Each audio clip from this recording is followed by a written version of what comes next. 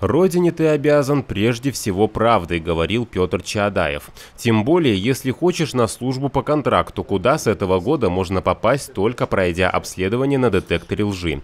Раньше это испытание проходили только кандидаты в определенные рода войск, например, ВДВ. Вот эта маленькая коробочка, похожая на модем, и есть полиграф, который, обследовав дыхание и сердцебиение человека, расскажет о нем все. Был ли претендент в армию когда-нибудь связан с криминалом, употреблял ли наркотики, подделывал ли документы. А можно ли полиграф обмануть? Казалось бы, чего стоит врать, при этом стараясь не волноваться. Мы решили проверить детектор лжи в действии.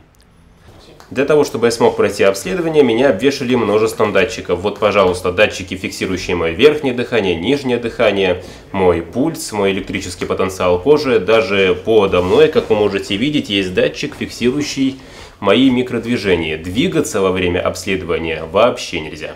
Вам удобно сидеть? Да. В этом году у вас были проблемы с сотрудниками полиции? Да.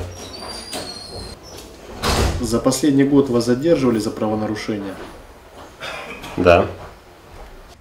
Корреспондент несет откровенную чушь. Казалось бы, какое тут может быть волнение. Но полиграф не перехитрить. Красные столбики на экране монитора говорят полиграфологу, что испытуемый врет. Это причина для отказа претенденту на службу.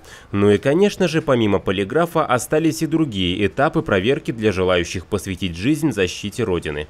Это прохождение профессионально-психологического отбора и сдача физической подготовки. Э, написание тестов там 7 методик проходят они. А физическая подготовка – это бег, это сила, подтягивание, либо отжимания, и на скорость – это бег 100 метров.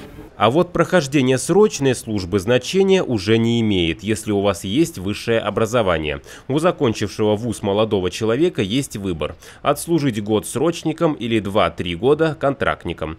Никита Гребенников, Николай Шунков, ЗАП ТВ.